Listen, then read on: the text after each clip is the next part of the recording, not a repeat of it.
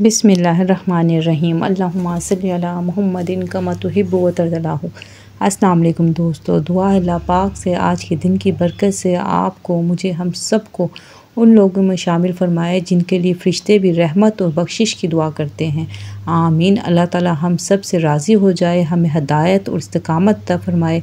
बेशक हदायत अल्लाह पाक के देने से आती है। अल्लाह पाक हमें गुमराह होने से बचाए कि जब हम अपने रब से मिलें तो वो हमसे राज़ी हो और हम उससे, हमारा ख़ात्मा बिल ईमान हो और मरते वक्त हमें कलमा नसीब हो। आमीन। आज की जो रेसिपी मैं आपसे शेयर कर रही हूँ ना, ये बहुत ही एक अर्जेंट ऑर्डर आया था। मैं, कुछ क्लाइंट ऐसे होते हैं जिनको आप मना नहीं कर सकते, जो आपको किसी भी सूरत में एक्सेप्ट करना ही पड़ता है। ये भी आज का ऑर्डर बहुत ही अर्जेंट था, यानी कि मैंने जल्दी जल्दी सभी चीज़ें बनाई, सभी चीज़ें फटाफट अरेंज की तो वही मैं रेसिपी आपसे शेयर कर रही हूँ। तो सबसे पहले मैं जो बना रही हूँ ना, मैं कीमा तैयार कर रही हूँ, जिसको मैं हमने किस तरह से यूज़ करना है, बहुत ही यूनिक तरीका है, वो आपको भी पसंद आएगा। अब थोड़ा सा ऑयल ले लिया टू टीस्पून जो है ना मैंने इसमें ज़ीरा ले लिया और ज़ीरे को भी हमने हल्का सा उसको कड़कड़ा लेना है कि उसकी खुशबू आ जाए। अब ये हाफ़ के जी कीमा है। जैसा कि आप देख रहे हैं कि कीमा फ्रीज़ हुआ हुआ है, मैंने इसको वॉश करके स्टेनर में निकाल दिया था, लेकिन फिर भी इसमें बर्फ़ जमी हुई है क्योंकि फ्रीज़ हुआ हुआ था। क्योंकि ये मैं बता रही हूँ, जैसे कि पहले से मेरी जहनी तौर पर मैं तैयार नहीं थी कि ये ऑर्डर आना है मेरे पास तो मुझे, मैंने इसलिए इसे पहले से निकाल के नहीं रखा। वरना जब मुझे पता होता है तो फिर मैं पहले से ही सारी चीज़ें प्रिपेयर कर लेती हूँ।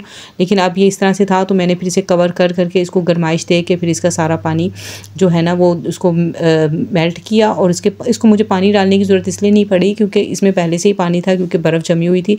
इसको मैंने इसी तरह से इस ज़ीरे के साथ इसको भून लिया। अब देखें जब पानी खुश्क हो गया, अब इसमें वन टी मैं नमक डाल रही हूँ। थोड़ा सा पानी इसमें मौजूद है बस। हाफ़ टेबल स्पून जो है ना लाल मिर्च पाउडर हम इसमें डालेंगे। वन टेबल स्पून धनिया पाउडर डालेंगे। हाफ़ टी स्पून हल्दी पाउडर डालेंगे। वन टीस्पून कुटी मिर्च है। और इन्हीं सभी मसालों को हम मिक्स कर लेंगे। क्योंकि पहले से पानी था, इसलिए कीमा उसी पानी में बड़े अच्छे से जल्दी से गल गया था क्योंकि उसको मैंने वैसे भी कवर कर करके बनाया था। तो ये आसानी से इसी पानी में अपने गल गया था। इसको बस हमने मसाले को अच्छे से भून लेना है कि इसका कच्चापन ख़त्म हो जाए। यहाँ मैंने कैमरे की स्पीड भी बीच बीच में थोड़ी सी बढ़ा रही हूँ ताकि मेरी बहनों का कीमती वक्त ज़ाया ना हो। अब देखें अब हम इसमें डालें एक बड़ा टमाटर, एक बड़ा प्याज। आपके पास छोटे हों तो आप दो दो डाल लें। ये हम डालने के बाद इसको भी अच्छी तरह से इसके साथ मिक्स कर लेंगे। इसको इतना पकाएँगे कि जो टमाटर और प्याज है, ये नज़र आना बंद हो जाए, यानी कि अच्छे से इसके अंदर से मिक्स हो जाए और इस मैश हो जाए अच्छे से इसकी, इसका फ्लेवर वगैरह निकल के ना कीमे में आ जाए। इससे बहुत अच्छा ये कीमा आप सैंडविच वगैरह में भी इस तरह से यूज़ कर सकते हैं। सिर्फ़ ये एक रेसिपी के लिए नहीं इसी मेथड से आप समोसे भी बना सकते हैं। बहुत चीज़ें इसी कीमे से बनती हैं। अब हम डालेंगे वन टीस्पून जो है गरम मसाला पाउडर हम इसमें डालेंगे और half teaspoon chicken powder डालेंगे। क्योंकि पहले हमने जो नमक था, आपने देखा था कम डाला था मैंने। अगर आपके पास चिकन पाउडर ना हो तो आप नमक थोड़ा सा ज़्यादा डाल लें। इनको भी हम अच्छे से मिक्स कर लेंगे। अच्छा मैं आपको बता रही थी कि इससे आप समोसे बनाएँ, इससे आप रोल बनाएँ, क्योंकि बहुत जो लोग होते हैं ना, वो बीफ लवर होते हैं तो वो फिर इस तरह की चीज़ों की डिमांड करते हैं। अब मैंने देखें, इसको अच्छे से मैंने भून लिया, अभी देखिए कवर करके इसको बना लिया था। इसका पानी भी खुश्क हो गया। ये देखें, प्याज और टमाटर इसमें बिल्कुल भी नज़र नहीं आ रहा। अच्छे से मैश हो गया है। आपने आयल का इस्तेमाल ऐसी चीज़ में बहुत कम करना होता है, क्योंकि अगर आप आयल ज़्यादा डाल लेंगे तो आप कोई भी चीज़ बनाएँगे तो उसमें से आयल निकलना शुरू हो जाएगा। आप देख रहे हैं कि पैन में बिल्कुल भी आयल नीचे से नज़र नहीं आ रहा। बस मैं इसको बना के, इसको ठंडा होने के लिए रख दूँगी।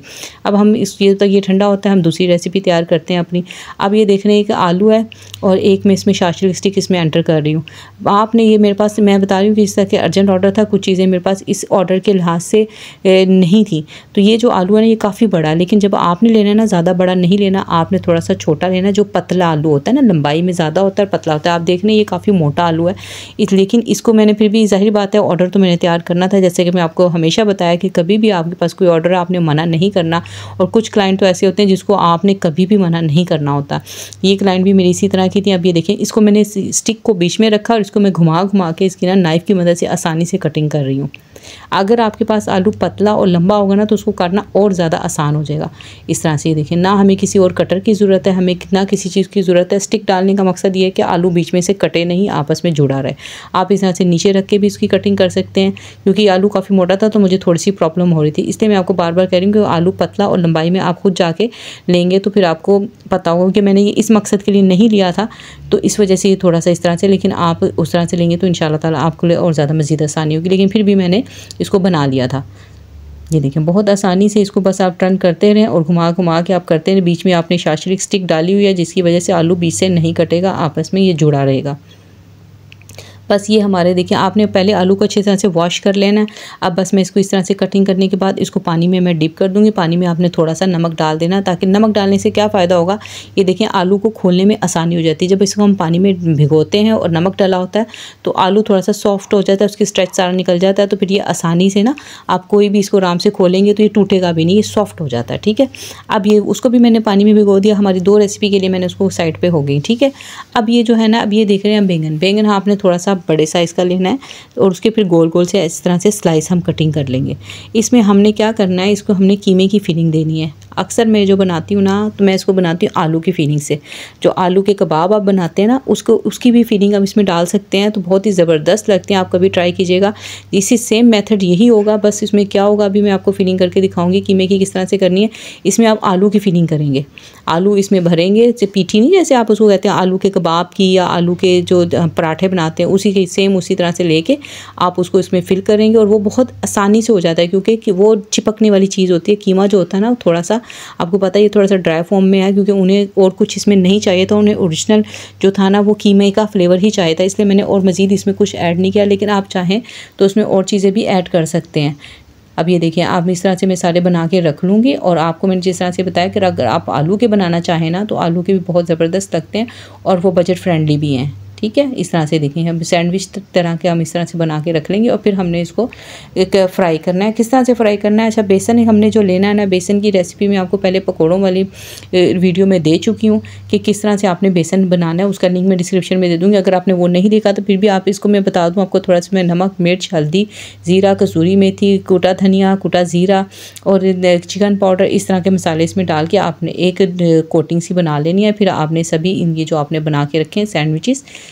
बैंगन वगैरह के, या आपने इस पर इस तरह से कोट कर लेनी है। आज आप देख रहे होंगे, मैं वॉइस ओवर भी जल्दी जल्दी कर रही हूँ वीडियो भी जल्दी जल्दी किया क्योंकि अलहमदिल्ला अब जैसे रमज़ान का अख्ताम हो रहा है तो ऑर्डर्स की भी ज़्यादा बढ़ गई हैं और प्री बुकिंग हो रही है ईद के हवाले से उसमें कुछ ऐसी डिशेज़ हैं, मैंने काफ़ी आपसे शेयर भी कर दी हैं। आप डोनट्स की रेसिपी देखें, जो मैंने कल शेयर की थी, बहुत ही ज़बरदस्त है।